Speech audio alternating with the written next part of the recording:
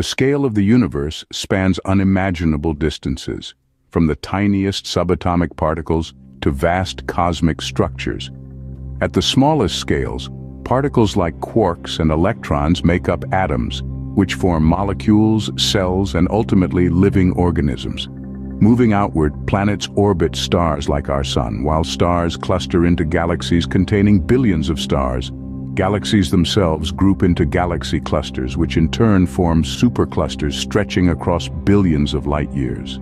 The observable universe extends over 93 billion light-years in diameter, containing billions of galaxies. Light from distant galaxies takes billions of years to reach us, allowing us to glimpse into the past. The cosmic microwave background radiation provides a snapshot of the universe's early history, dating back to about 380,000 years after the Big Bang. Despite its vastness, the observable universe represents only a fraction of the entire cosmos, which may extend far beyond what we can currently see.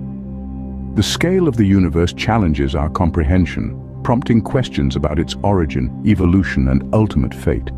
Exploring the scale of the universe enriches our understanding of our place in the cosmos and inspires wonder and curiosity about the mysteries that lie beyond.